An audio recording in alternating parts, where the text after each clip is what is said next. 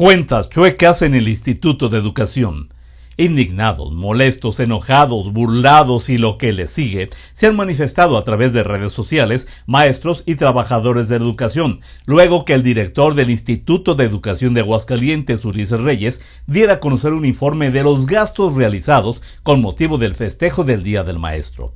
y hubiese sido un ejercicio sano y en cierto modo hasta tranquilizante, de no ser porque dicho reporte se encuentra plagado de costos inflados a un grado que raya en la fantasía y en el más descarado cinismo, a decir de los propios maestros.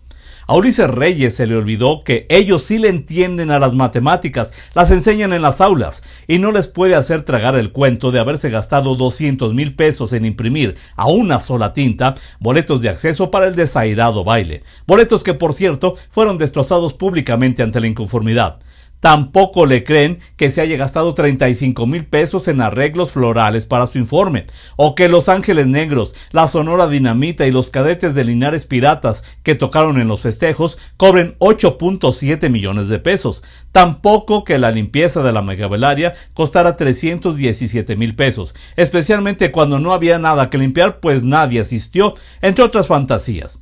Un informe en papel simple, de forma y no de fondo, donde no se incluyen el dispendio en los viajes al extranjero realizados por los titulares del área, a donde se destinó el dinero que mejor debía ser aprovechado en dotar de mejores reparaciones a escuelas sin agua ni drenaje.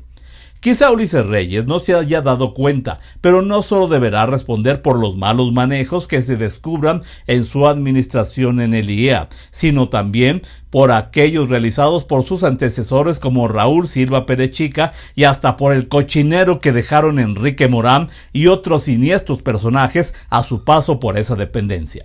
Al tiempo.